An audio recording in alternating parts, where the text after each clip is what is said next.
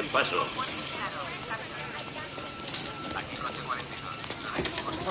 Jack. No puedo creer que dispararas. Me duele mucho.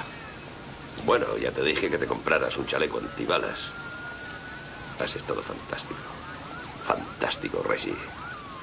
El doctor dice que te pondrás bien. Tengo buena puntería, ¿eh?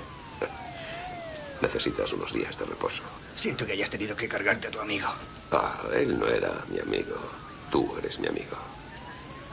Además, tenía que salvar a mi socio, ¿no?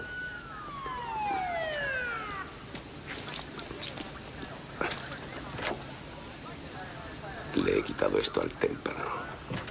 Son 500.000. Te veré en el hospital y hablaremos de ello. ¿De acuerdo?